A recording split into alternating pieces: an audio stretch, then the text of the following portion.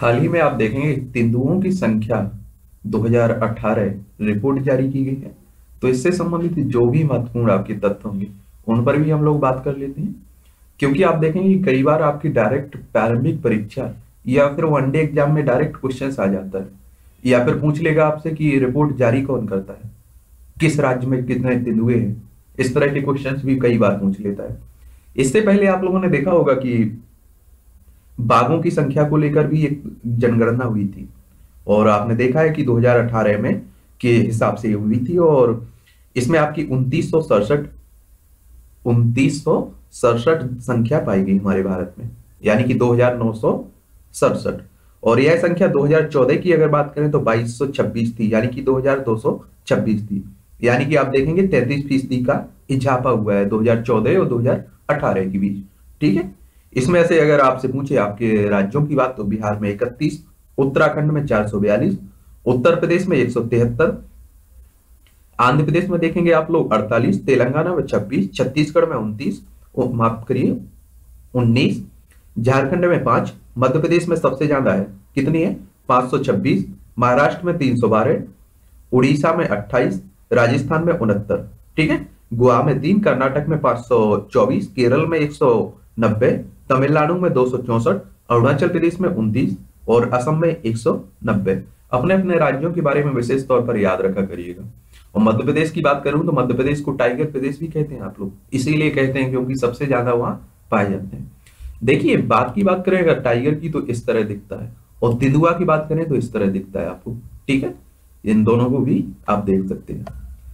इस रिपोर्ट के बारे में अगर बात करें हम लोग तो हाल ही में पर्यावरण, वन और जलवायु परिवर्तन मंत्रालय द्वारा भारत में तेंदुओं की स्थिति 2018 नामक रिपोर्ट जारी की गई है।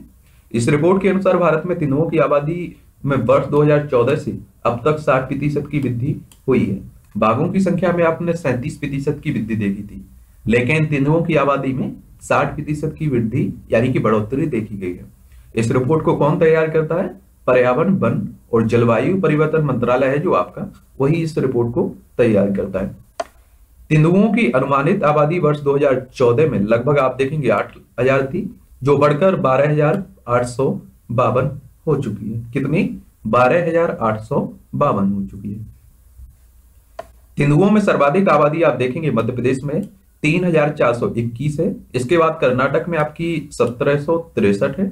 माफ़ करिए, सत्रह सौ तेरासी। और महाराष्ट्र में आपकी उन्नीस हज़ार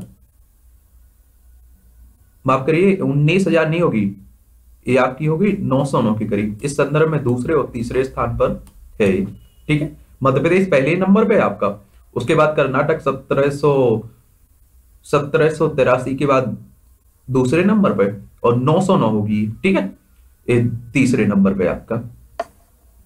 क्षेत्रवार विवरण की बात करें तो मध्य भारत और पूर्वी घाट में तेंदुओं की संख्या सर्वाधिक, आठ हज़ार इकहत्तर। है पश्चिमी घाट में बात करें तो तेंदुओं की कुल संख्या तीन हज़ार तीन सौ सतासी। है और शिवालिक और गंगा के मैदान में तेंदुओं की कुल संख्या की बात करें तो ये बारह सौ तिरपन है। अगर पूर्वोत्तर पहाड़ियों में तेंदुओं की कुल संख्या की बात करें तो एक सौ इकतालीस है। ठीक है? रिपोर्ट के अनुसार तेंदुओं के निवास क्षेत्र में पिछले 100 से 125 वर्षों में अत्यधिक कमी आई है, जबकि तेंदुओं की अनुमानित संख्या में वृद्धि हुई है। क्षेत्र में इसलिए कमी आई है क्योंकि आपने देखा है किस तरह से हम उनका एक तरह से अधिग्रहण करते जा रहे हैं। एक समय आप देखते थे कि आपके घर से आप निकलते थे तो एक तरह एक तरह के जंगल शुरू हो जाते थे, पेड़ ही पेड़ दिखाई देते थे। आज आप घर से दूर दूर तक आपको साफ़ दिखाई देगा। ठीक है?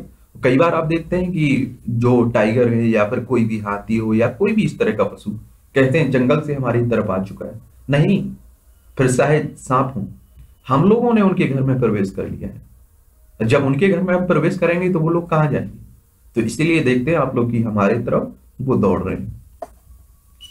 गणना में प्रयुक्त की गई तकनीक की बात करें तो कैमरा टैप का उपयोग किया गया है, सैटेलाइट इमेजिंग का उपयोग किया गया है, भारतीय वन्यजीव संस्थान और राष्ट्रीय बाघ संरक्षण प्राधिकरण द्वारा फ़ील्ड कार्य भी किया गया है। अब आप समझिए ऐसा तो है नहीं कि जंगल इतने बड़े जंगल है, वहाँ जाके एक एक गिने की एक ये बाघ है, एक ये है। तो आजकल क्या किया जाता है कि कैमरा टैप या फिर सैटेलाइट के द्वारा सब कुछ जान लिया जाता है मोटे मोटे तौर पर। अब आप देखते होंगे कि फ़सल की बात होती है कि फ़सल कहाँ कितनी हुई है। हमारे देश में कितना कौन सा फ़सल हुआ है। तो यहाँ हर कोई जाके गाँव गाँव तो ये चेक नहीं करेगा। इसलिए सैटेलाइट या कैमरा इस तरह के उपयोग करके बता दिया जाता है। ठीक है कॉमन सीमित दायरे की बात करें तो इस गणना को प्रोजेक्ट टाइगर के तहत केवल बाघ आबादी वाले क्षेत्रों में संचालित किया गया है, जबकि तीनों की उपस्थिति सर्वव्यापी है।